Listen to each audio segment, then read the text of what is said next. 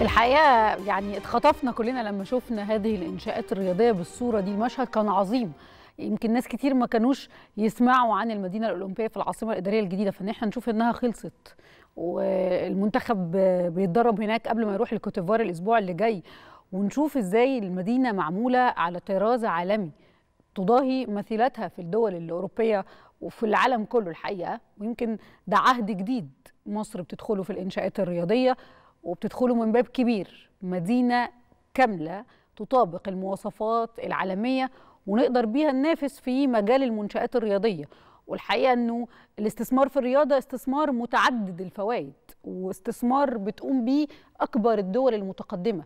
فإنه مصر تدخل هذا المجال ده شيء مهم جدا. ندخله كمان بمدينة يعني بهذا المستوى ويمكن حضراتكم تابعتوا الصبح اللعيبة ووجود المنتخب ويمكن ده خير افتتاح للمدينة الأولمبية بوجود المنتخب الوطني وزيارة السيد رئيس ودعمه وتشجيعه ليهم قبل ما يسافروا كأس أمم أفريقيا. وزي ما حضراتكم بتتابعوا معانا على الشاشة هذه الزيارة. ويعني الحقيقة كان حديث مش بس حديث مصري لا حديث يمكن على مستوى أفريقيا هذه المدينة اللي مصر تنافس بيها وتستقبل بيها يعني منافسات رياضية عالمية.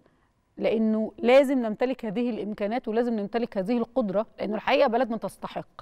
فالواحد كان سعيد جدا باللي بيشوفه ده سعيد جدا بالخدمات اللي موجودة داخل المدينة الأولمبية اللي تؤهلنا إن إحنا نكون موجودين في هذا السوق الرياضي. لأنه ده استثمار كبير. ده موضوع مش مش مدينة أولمبية بس للتدريب وغيره وغيره وغيره. لا ده موضوع الاستثمار فيه استثمار رابح ومتعدد الأوجه الحقيقة بكل تأكيد. وهنا وجود المدينة دي بيأكد رغبة الدولة المصرية في إن هي تكون دايما في تطور دايما نكون بنشتغل.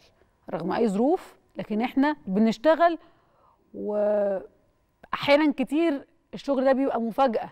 لأنه زي ما كنت بقول لكم مش كتير مننا كان يسمع عن هذه المدينة الأولمبية.